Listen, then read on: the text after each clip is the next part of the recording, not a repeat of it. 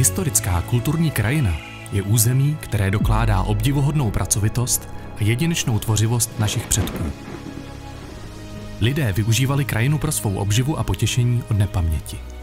Byla a dodnes je hlavním zdrojem obživy, ať už z hlediska zemědělského hospodaření nebo chovu ryb a zvěře.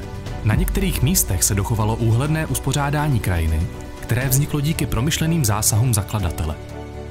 Historická kulturní krajina především ukazuje něco, co již v současnosti není běžné, nebo v té podobě dnes nevzniká. Takové krajiny jsou pro společnost čím dál vzácnější. Nejen proto, že jsou krásné nebo poučné, ale hlavně proto, že dokládají naše kořeny.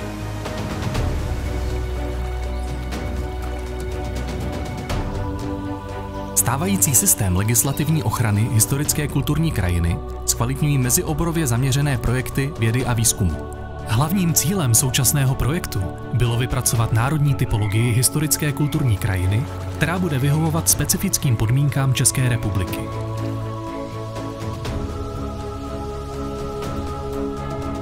Kromě toho jsme chtěli identifikovat kulturně historické hodnoty ve vybraných lokalitách a prostřednictvím edukačních programů přiblížit školákům a místním obyvatelům jedinečnost určité historické kulturní krajiny, která tvoří naši kulturní identitu.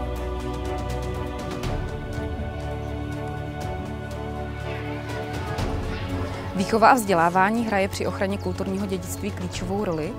My vnímáme, že je důležité pracovat se školáky a vůbec s návštěvníky přímo v autentickém prostředí památek a historické kulturní krajiny, protože tam se daří lépe zprostředkovávat vztah k tomu místu. Žáci mají při učení na památkách z historií přímou zkušenost. To je úplně jiná zkušenost než ze školních lavic.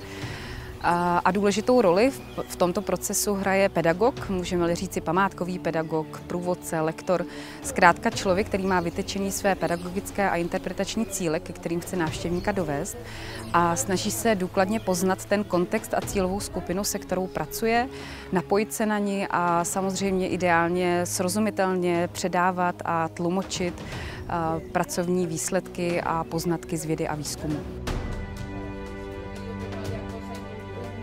Z pohledu památkového pedagoga vnímám, že je důležité neustále reflektovat svou vlastní práci a inspirovat se v těch trendech v oboru edukace a interpretace v oblasti kulturního dědictví.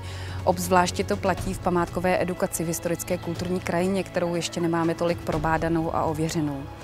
A i o tom byl náš projekt, nejen o tom potřebném výzkumu, ale i o prezentaci historické kulturní krajiny, v našem případě prostřednictvím edukačních programů.